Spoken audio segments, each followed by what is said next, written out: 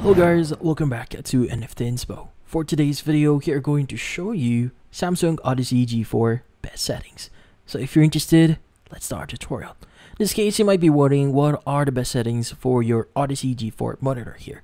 Well, in this case, there are a few settings here that you might want to change. So first is going to be the picture mode. So in this case, set it to custom and this allows you to tailor the display settings to your preference, giving you the best balance for your specific viewing needs. Now also, for brightness, adjust it to 100. This settings maximizes brightness, making sure that your images are vibrant and easy to see in various lighting conditions. Now, next is you want to set your contrast. Now set to 75. A higher contrast ratio enhances the difference between dark and light areas, providing depth and richness to the colors on your screen. Now also for sharpness, you want to set this to 60. This helps improve clarity in images and text, ensuring that everything looks crisp without being overly harsh.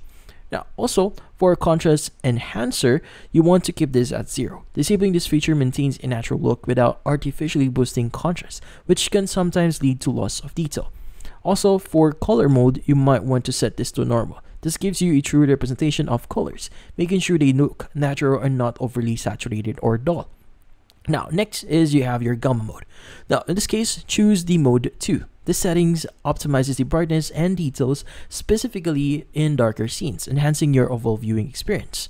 Now, in this case, for game mode, you might want to turn on the game mode here. This setting optimizes your display for gaming, reducing input lag and improving response times for another gameplay experience.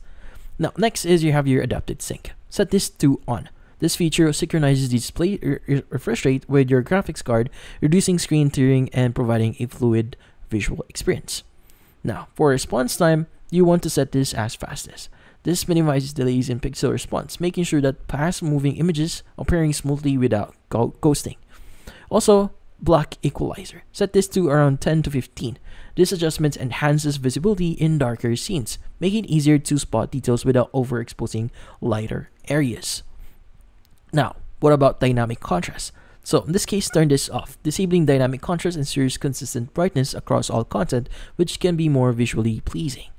Next is mm, just in just in case if like for example if you're using nvidia you could use or adjust a few things in the nvidia control panel settings as well so in this case set brightness to around 50% contrast to 50% gamma around 0.85 digital vibrance around 60 to 70% image sharpening at off anti-aliasing at FXAA off, low latency mode to ultra, and power management mode to prefer maximum performance. So in this case, that's about it.